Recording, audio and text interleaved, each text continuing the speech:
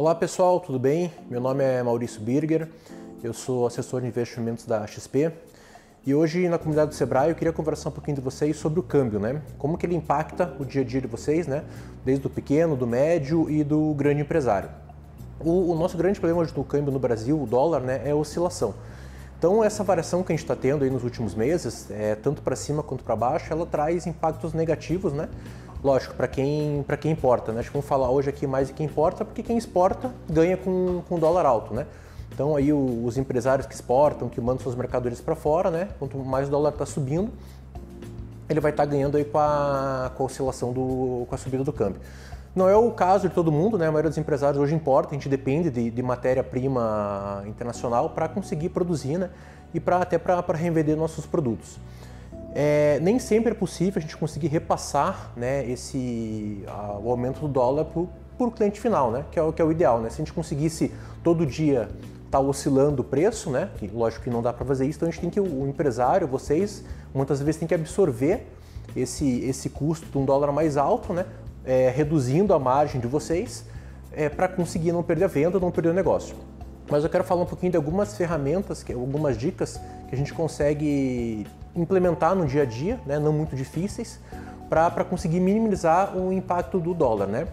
Para o cliente final, né, o consumidor, né, o impacto do dólar ele, ele afeta basicamente no poder de compra, né? porque o dólar é mais caro, ele consegue comprar menos e, consequentemente, vai, vai demandar menos do, das empresas de vocês.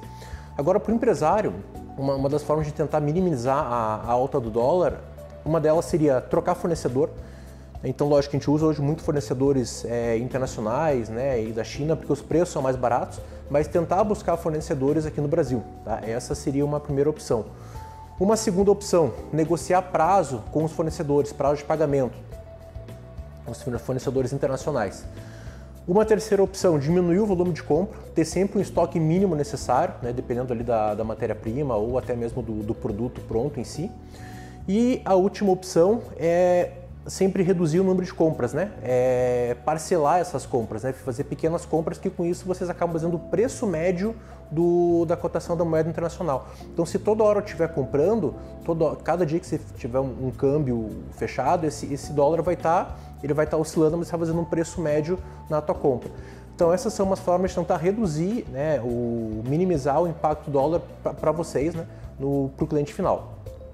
Além disso, se possível, algumas vezes conseguir tentar repassar essa, essa margem, né, esse custo mais alto para o cliente e ver se ele consegue, consegue absorver. Então, pessoal, é, passei ali as, as, principais formas né, de reduzir o impacto do dólar, né, é, negociar com fornecedores, trocar fornecedores internacionais por fornecedores nacionais, aumentar o número de compras para fazer preço médio em dólar e, se possível, né, é, tentar repassar um pouco dessa oscilação para o cliente final.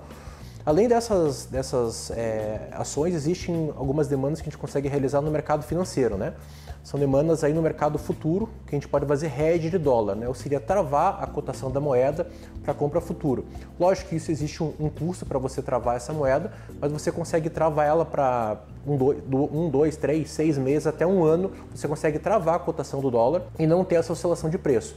Então, grandes empresas acabam usando esse formato de hedge, né, em trabalhar com chama de derivativos, né, para travar a oscilação de preço e aí o, o, empresário, você vai estar focando apenas no teu negócio. Você não precisa se preocupar com a variação do câmbio.